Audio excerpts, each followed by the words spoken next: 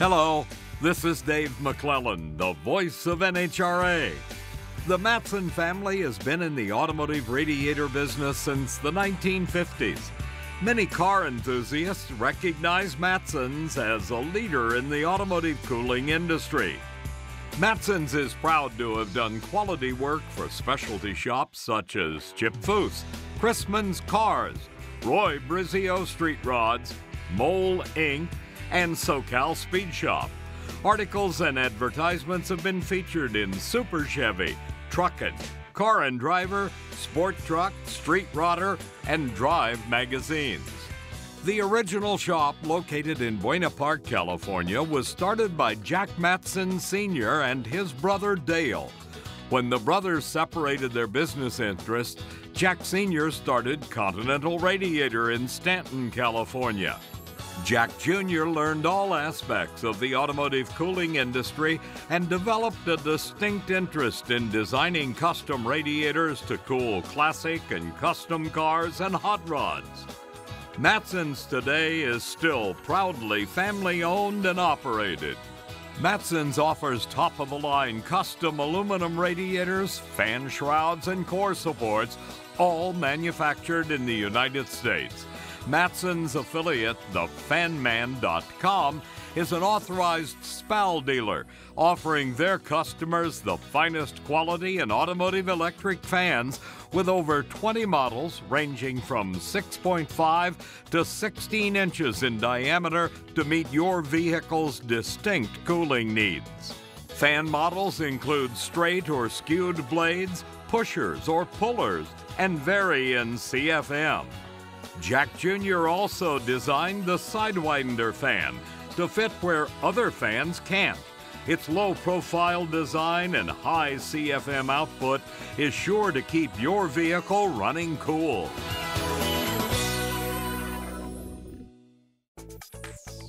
Tri 5 setup and installation. To install the Tri 5 radiator setup, let's first go over the parts included in the setup.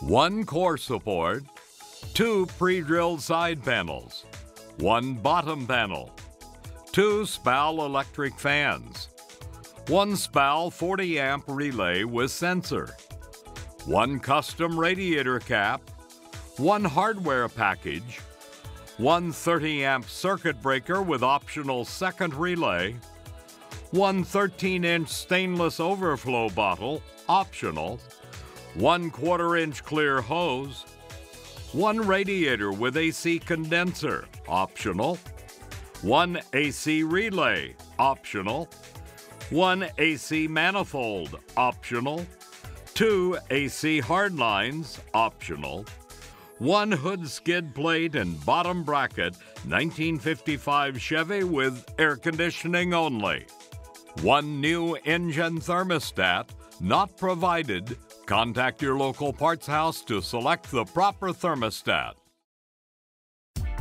Step 1. Before removing your old radiator and the core support from your vehicle, close the hood of the vehicle and look at the spacing between the hood and the fenders on each side. Step 2. Only for cars with air conditioning, carefully remove the existing AC condenser. Step 3. Before removing the radiator, carefully remove the radiator cap from the radiator to release any pressure. Make sure that the radiator coolant is not hot before attempting to remove the radiator cap. Disconnect the top and bottom radiator hoses and transmission lines. Then remove the radiator and core support from your vehicle. Step 4. Install the new core support. The new core support comes with two side panels, a bottom panel, and two threaded studs. The core support needs to be installed with the two side panels and the bottom panel off of the core support. Coat the threads of the two studs with anti-seize and thread onto the bottom of the core support. To install the new core support, Look for two bolt holes on each vehicle's fender and wheel wells and each side tab of the core support. Slide the two threaded studs into the bottom frame of the vehicle. Then insert the two 5 16 coarse thread button head bolts through the core support tabs, the fender, and the wheel well, and secure the button head bolts. After installing the new core support, carefully close the hood of the vehicle and look at the spacing between the hood and the fenders on each side to see whether you need to install shims to ensure that the spacing between the hood and the fender remains the same as the original. The factory may have also installed shims with the original core support. Step 5. Once you get the core support aligned and installed in the vehicle, bolt the side panels to the core support and wheel wells using 1 quarter inch coarse thread button head bolts. Secure button head bolts to the wheel well with quarter inch coarse thread nylock nuts. The remaining button head bolts mount directly to the core support using the internally threaded rivet nut and do not require nylock nuts. Step 6. Before installing the bottom panel, remove the bottom bolt on each side of the side panel that threads into the core support. Now install the bottom panel using the same bolt and bolt hole on each side mounting the bottom panel on the grill side of the core support. Step 7. Before installing the radiator, make sure the rubber isolators are threaded into the radiator and fit snugly, but do not over tighten. If your vehicle has an automatic transmission and the radiator is ordered with a transcooler, the transmission line fittings need to be threaded into the transcooler. The transmission cooler threads are 1 quarter inch female pipe thread. Next, remove the nuts supplied with the rubber isolators and install the radiator with the isolators going through the side panels. Secure the radiator with washers and nuts to the isolators on the engine side. Do not over tighten. Note, if you have a 1955 Chevy with an air conditioning condenser, replace the hood skid plate and bottom bracket. Step 8. Install the overflow tank. Before installing the overflow tank, first attach the overflow bracket to the overflow bottle using the quarter inch bolts and nylock nuts provided. Remove the nuts and washers that secured the radiator on the engine side of the core support. The overflow bottle will be mounted on the filler neck side. Mount and secure the overflow bracket with washers and nuts to the rubber isolators. First, brush the 1 8 inch male fitting with a small amount of anti-seize and thread the fitting into the filler neck of the radiator. Anti-seize is not needed on the male flare fitting. Slide the stainless steel overflow tube through the rubber grommet near the bottom of the side panel. Then connect the overflow tube to the male flare fitting on the filler neck. Also connect the 1 4 inch clear hose to the short stainless steel tube at the bottom of the overflow tank and the other end of the hose to the stainless steel overflow tube. A 1 quarter inch clear hose may be attached to the long stainless steel tube at the bottom of the overflow tank and used to drain the antifreeze and water mixture in case the overflow bottle exceeds capacity. If the vehicle has air conditioning, install the AC manifold to the side panel on the passenger side. Connect the two AC lines from the condenser to the manifold. Be sure to use the new rubber O-rings provided. Step 9. Install a new engine thermostat. Before installing a new engine thermostat, drill three 3 16 inch holes evenly spaced into the flat side of the thermostat. Drilling the holes allows the antifreeze to reach the bottom of the thermostat and prevents airlocks. Step 10. Install the top and bottom radiator hoses. One way to find radiator hoses with the proper bends needed for your vehicle is to take a clothes hanger, straighten it out, bend it to fit from the top radiator hose to the engine, and then cut it to the proper length.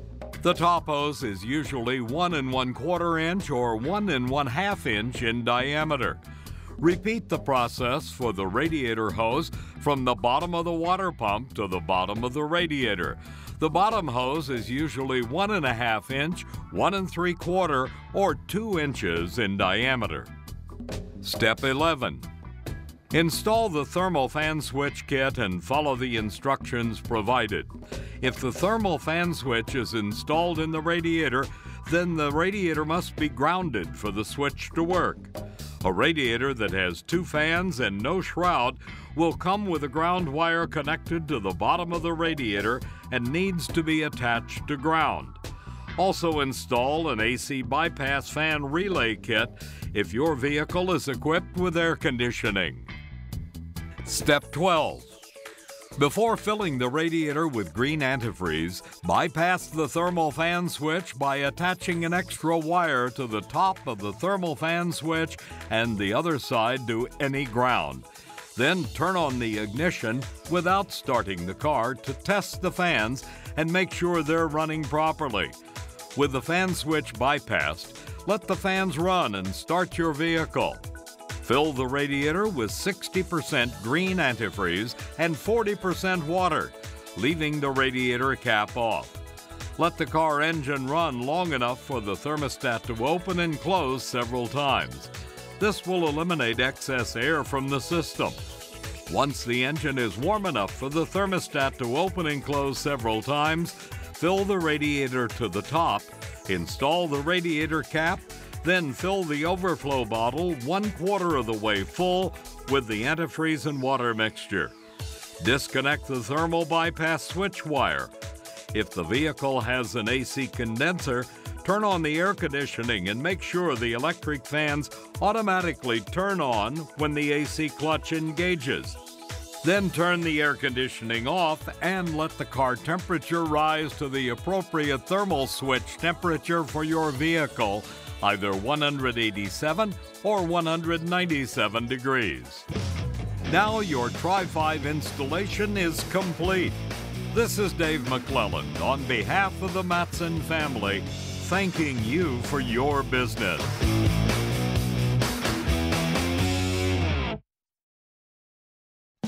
For additional information on any products or services, visit www.mattsonscustomradiator.com or call 1 866 435 6477 or stop by the Pomona and Long Beach car swap meets. Hi, this is Pee Wee. When I need a radiator, I go to Mattson's Custom Radiator. They're the best guys on the block or in the state or in the country or the whole wide go!